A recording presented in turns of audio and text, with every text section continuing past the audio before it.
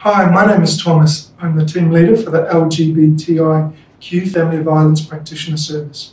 The Magistrates Court of Victoria introduced the service at the Neighbourhood Justice Centre in late 2018.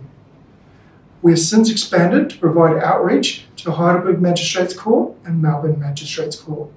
As of mid 2020, we provided services to over 300 people.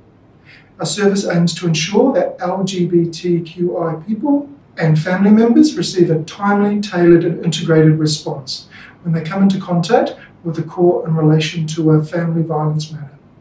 Our service promotes recovery and responsibility in safe and inclusive ways.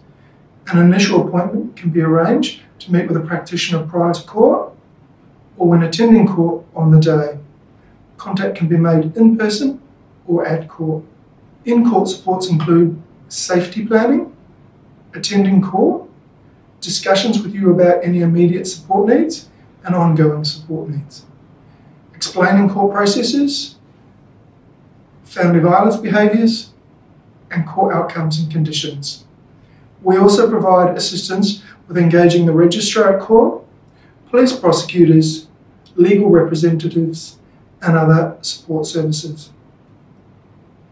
We provide support after court, and this includes referrals to support services as requested by you, and any programs identified in court. Further discussions of court outcomes and helping you with any other questions you may have. Our service is voluntary, and we will discuss privacy and confidentiality with you at our first meeting. The LGBTIQ Family Violence Practitioner Service can be contacted by phoning the Neighbourhood Justice Centre on 99488 visiting the Neighbourhood Justice Centre on the ground floor and requesting support, or emailing us directly at lgbti.fv at courts, C-O-U-R-T-S, dot vic.gov.au.